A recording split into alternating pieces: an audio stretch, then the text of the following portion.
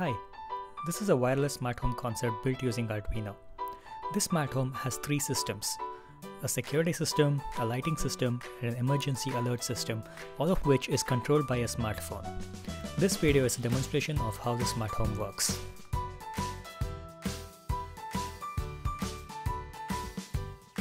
This system has a smart porch that senses when someone's at the door and prompts for a password. The door is password protected and opens automatically when the right password is keyed in.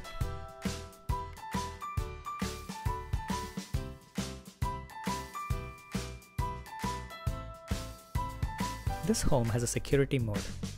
Security mode can be turned on when leaving the home and the system monitors the activity at the door and inside the home.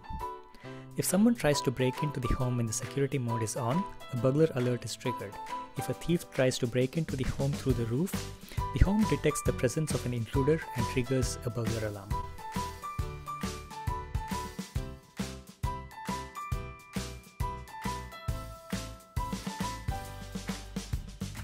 This home also has a smart lighting system.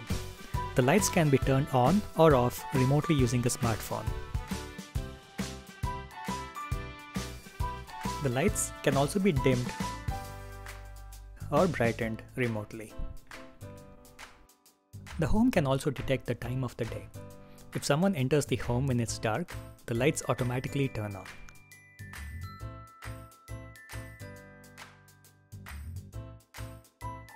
This home also has a wireless emergency alert system built in.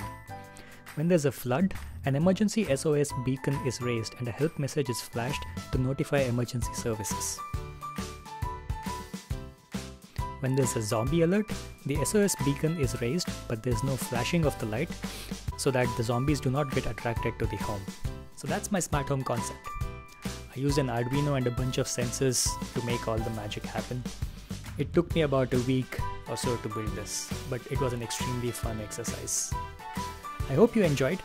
If you have any feedback, comments, or any questions, please leave them in the comments below. Thank you.